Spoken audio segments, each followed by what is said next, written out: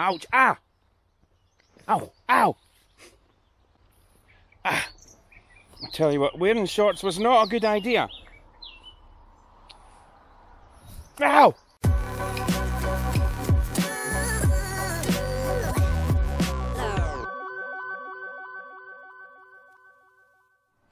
Morning. Welcome back to Wee Brown Van. so that exciting. Today we're heading off to a site at Mickleton, which is near Barnard Castle in the county of Gloucestershire. Spot on. And we've got a great day for travelling. It's nice and warm, even though I do have my woolly jumper on.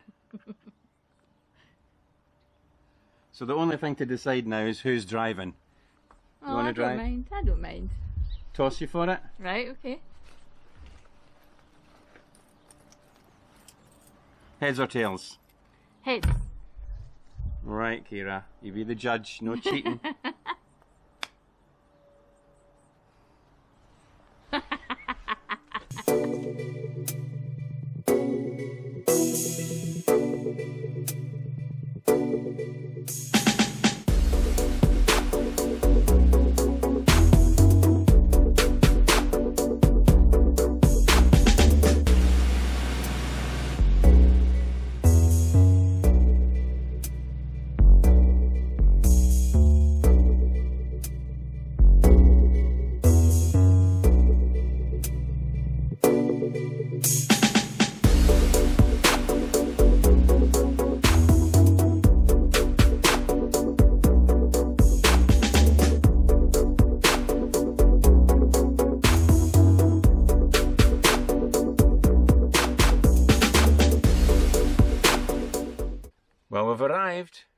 Mickleton, and actually, it's another day. We didn't film a great deal yesterday. You can tell it's another day because I haven't got my woolly jumper on today. Fresh t shirt. So we just settled in really last night. I had a really nice evening, a relaxing easy evening, and Trish made some fish. I think it was sea bass, wasn't yep. it? Sea bass. We were going to have them on the barbie, but you just did it inside, and it was jolly nice, I have to say. Mmm, compliments to the chef. Oh, wait a minute. That's me. So the plans for today, I think, are to go for a walk, aren't they? Yes, they are. So we're going to walk from Mickleton, where we are just now, over the Tees Railway Walk to Middleton on Tees. And I think you do go via a viaduct. And at Middleton on Tees, I think we're going to have a nice spot of lunch at a pub Yeah, that'll be nice. or It'll- a cafe. and it'll be good to see a viaduct, especially after the last time we were at the Kelpies recently, weren't we? Mm. And that was a bit of a disappointment. We didn't get to the aqueduct there. So maybe that'll make up for it a little bit. Right, that's us on the Tees railway line. It's nice, isn't it? Yeah, lovely. We've got all these plants around, wildflowers and what have you. You know, it reminds me of that film Stand By Me. They're walking along the railway line, just wanting to keep checking behind us in case there's a train coming. Come on, Kira. It's quite easy to get these shots of Kira. All that I do is I just dangle this camera upside down on the selfie stick in front of her. So obviously it's going to record her upside down until such time as I get the footage into my software and I can flip it up the right way. But actually I think she looks quite at home in that sort of strange upside down world. After all, she is a miniature Australian Labradoodle. boom boom! Yeah. Ah, you've got to laugh, haven't you?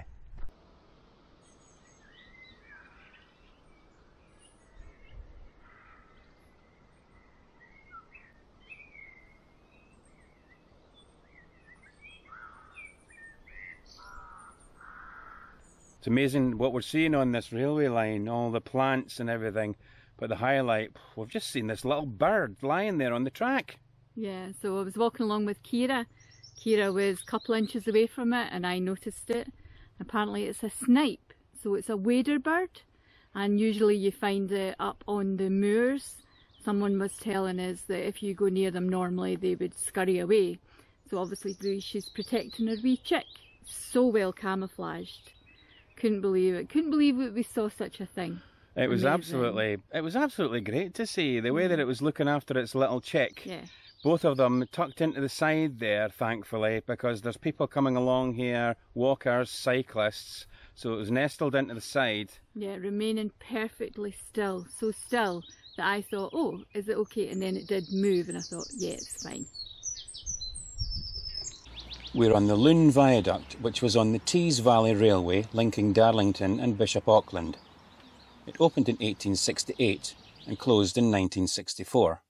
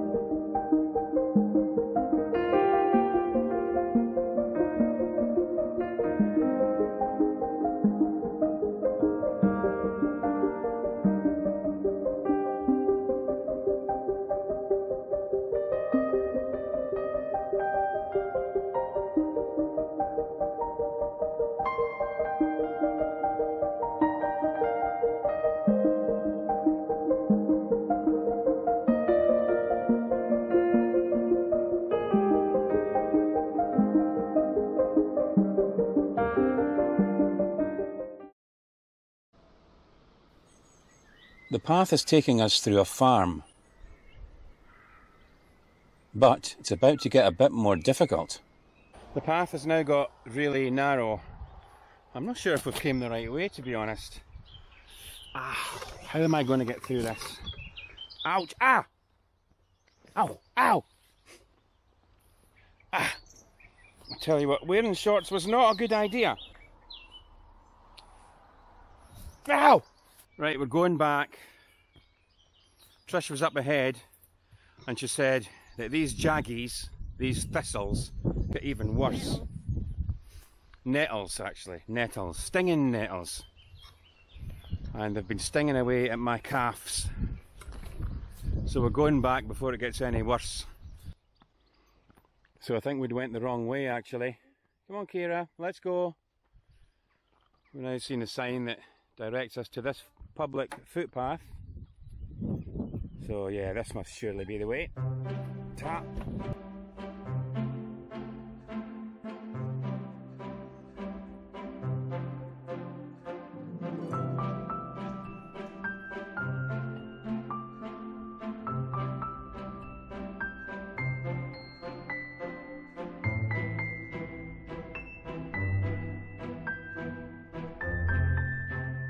These lambs are a bit curious.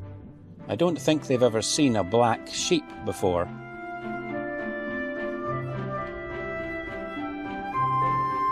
That's not a sheep. Well, we're back at the camper van. That was a great little walk. So much so, Trish has actually crashed out in the van. And Kira's done the same. She's crashed out on the mat. Now we found a great little spot at the bridge at the end of the walk. Trish was keen to try out her new ball chucker that she's got to play with Kira. So we bought this new chucker for Kira's ball. It's called Compact 9. That's the bag. It's this size. But look, by magic, Hey! And what's that in your hand? That's the wee bag. So what happens is when she's finished, you take the ball full of slavers, lovely. Put it in the bag. So you don't have to touch. So you've got a little ball bag. Ah, I'm already equipped. Then after that, Kira was thirsty, so we went down to the bridge, and Kira had a good old drink out the river.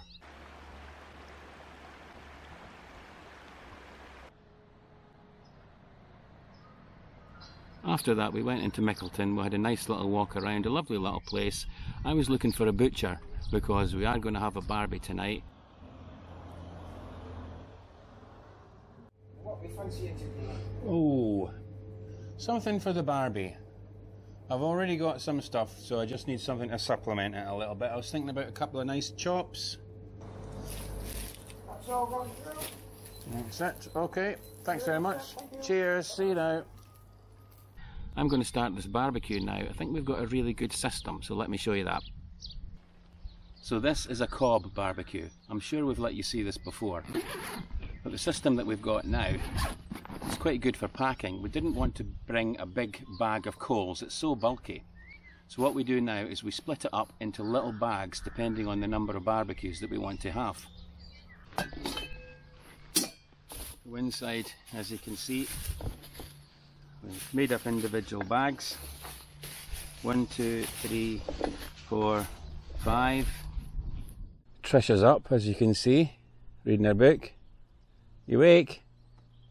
Yeah. Good. Because it's time to get the grub on. Right, I think that's Trisha's vegan sausages just about ready, sizzling away. Cut them in half because she likes them a bit crispy. Time now for the main event. That's mine. I'm going to have pork sausages and a wee chop that I picked up at the butcher's. Not having all these sausages, mind. One's for Kira, and I might keep a couple for tomorrow morning for my brekkie. Right, I'm going to tuck into this. How does that look? And then we're going to wrap it up for the night. Trisha's already had her vegan ones. I think she enjoyed them. Tomorrow, the plans for tomorrow, we're going to go to um, some waterfalls called High Force. Now, apparently, these are one of the most impressive waterfalls in England, so we're looking forward to that. That's all for tomorrow. That's another morning, and we're just about ready to go. We're going to do what we said we were going to do last night. Kira's all strapped up in the van and we're heading off to North Force Waterfall. So we're going to park at Bowlees Visitor Centre. We've read online that it's the better place to park and we can walk from there to Lower Force Waterfall and from Lower Force Waterfall walk back up to High Force Waterfall. So I think it's a day for walking. The weather seems really nice. It's to be dry all day, fingers crossed um, and I'm sure we'll have a lovely time. Just wherever you can find the space. As it looks like a busy, busy place. Yep. Hey, move out the road.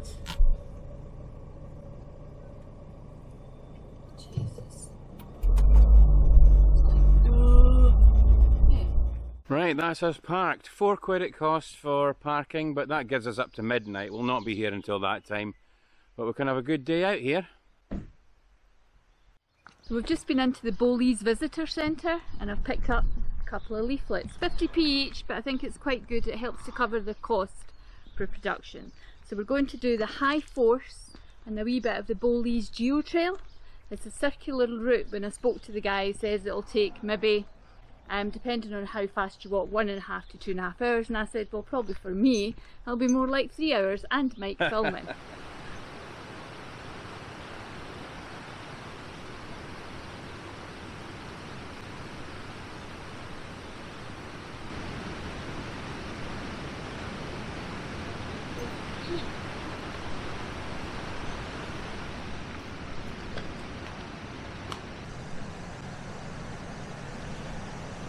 So some people back there looks like they're going in.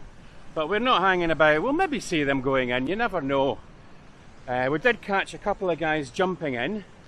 Now, the first chap, he was so fast I could hardly keep up with him with the camera. And he went, I did my best, but I thought he might come round again. And he did. So the second time he went in, I was ready with the camera this time and I followed him all the way down. And then another chap, he had to go as well. Rather them than me. You don't fancy having a go at that? No. No, no, rather them than me. Well, we're on the pathway now, which takes you from low force falls up to the high force falls. And this walk takes you right up the side of the river, follows it all the way up. Beautiful pathway, beautiful plants and flowers again, all the way around. So we did spot one that we didn't spot on the railway walk. That was a little common spotted orchid, and that was a great little thing to see. I was looking for one yesterday, but I couldn't see one. We've arrived at the High Force Falls, and I can take a look over the edge with a little bit of help from a very long selfie stick. It's a bit too windy to put Midge up in the air, but half an hour later